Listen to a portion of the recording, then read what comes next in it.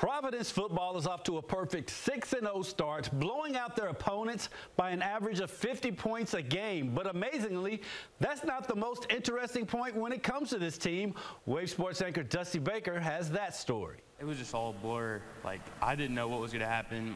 My parents didn't know what going to happen. Mark Millay, a senior right tackle for Providence High School, experienced a significant roadblock on the basketball court during a rebounding drill in June of 2022. Kid goes up for a rebound, comes down, elbows mark on the head. Next thing I remember, I'm in the trainer's room, and the trainer's holding the cloth to my nose it's bleeding. And I had no recount of what happened past 15, 20 minutes. There's just something in my gut that was like, this is different. Millay and his family were recommended to go through with a CT scan following the incident. The CT scan showed I didn't have a brain bleed, but then the radiologist found something abnormal. The abnormality was confirmed in an MRI. It was a brain tumor. And that week was probably one of the hardest weeks I've had in my entire life. Like I've never seen Mark express his emotions like that. It was something like different, other level. Me personally, I probably would have just shut it down after that. On June 20th, Millay had brain surgery to remove the tumor. It was difficult knowing that one of your brothers are not here with you and they're battling something that's bigger than football. But with his relentless spirit, making it a goal to get back out on the field. He never wanted anything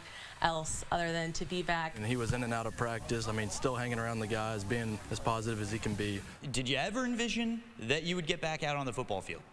I knew at some point I would. I just didn't know if it would be last year or this year. To see him come back from that has been miraculous. On September 22nd of 2022, Mark returned to practice. While we were practicing, he was running sprints. He was running laps around the field. On October 10th, he returned to contact.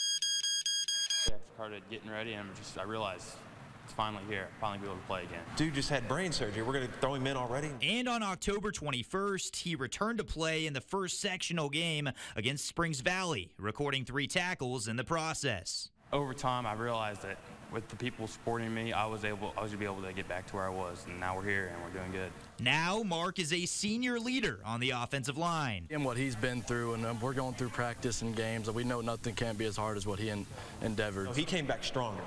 So to have him back and to see him bounce back from that, it's been amazing. What did you learn about yourself through this process? Being told I wasn't going to be able to play, then going to physical therapy, working hard every day to be able to get back. I feel like I've taken that to the classroom and back to the field, and then just my sense of gratitude for all the coaches, my teammates, just always being there to pick me up after what happened is just it's just great.